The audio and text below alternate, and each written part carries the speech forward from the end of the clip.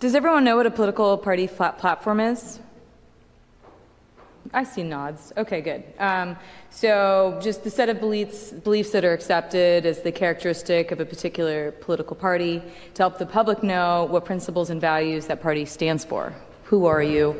What do you stand for?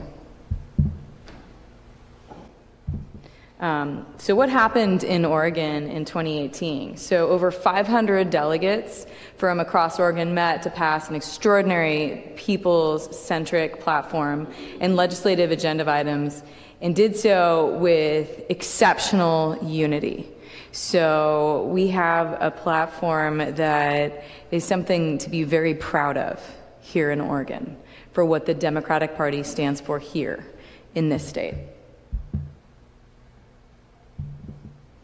So, sample platform components. Uh, we support the rights of all Oregonians to access the basic necessities of life, such as food, water, health care, sleep, and shelter.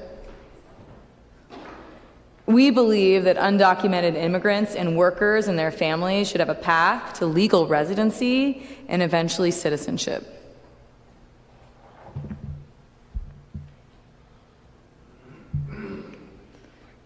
We believe that money is not speech. Oh, well, hmm.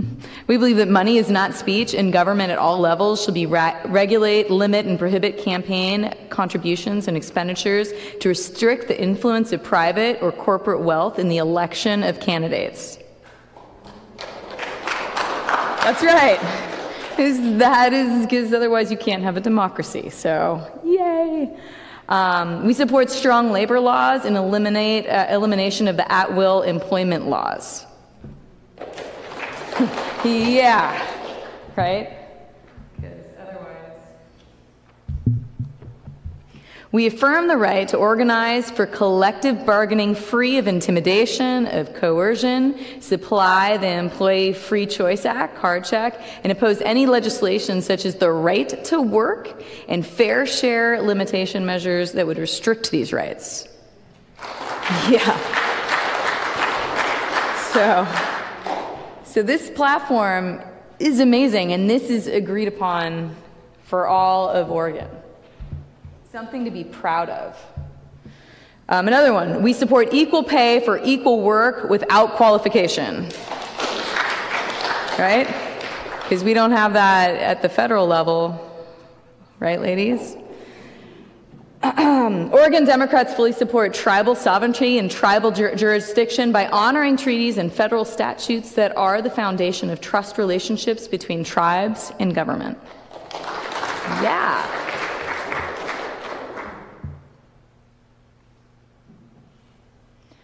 So, what does this mean for you as a PCP?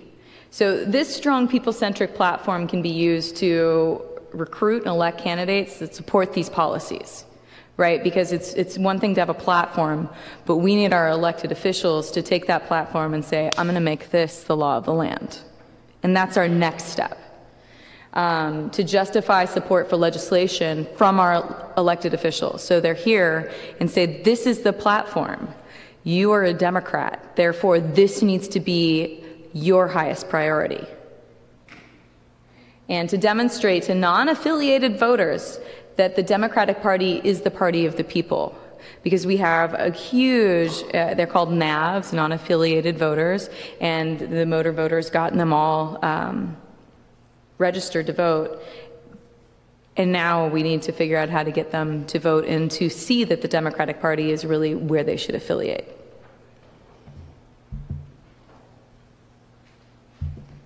All right, questions? Yes. Those that you just listed, uh, where are those available? Oh, that's a good question. Larry? It's, yeah, it should be on the DPO. Yes, if you go to dpo.org, um, there's uh, the first section is called the party, and if you go to the very bottom, uh, they list the party uh, platform and the second thing, which is called legislative agenda items. So the platform is the beliefs, and the legislative agenda items are the things that we would like the legislature to enact. The question is, how was the platform arrived at? Um, they did outreach to all of the caucuses within the Democratic Party of Oregon and to all of the counties for their input. Uh, and they used prior documents and they pulled them all together. Anything that was similar, they did their best to combine them, combine the language so that the things weren't represented multiple times. Um, and this was an enormous amount of work that the Platform and Resolutions Committee did. And then uh, the they also collected the legislative agenda items uh, at the same time. And then we had a convention that lasted two and a half days. Um, the, the Saturday of the convention was going over the legislative agenda items, prioritizing them, uh, and getting them in a final format to vote on. And then Sunday was spent voting on the actual planks of the, the Democratic Party of Oregon. So everybody in the convention was in one room and we voted on them. And it was, um, as we said earlier, it was amazing how little dissent and disagreement there was. And these were from representatives from all corners of the state. It wasn't any rural versus urban divide. It was uh, astonishing cohesion.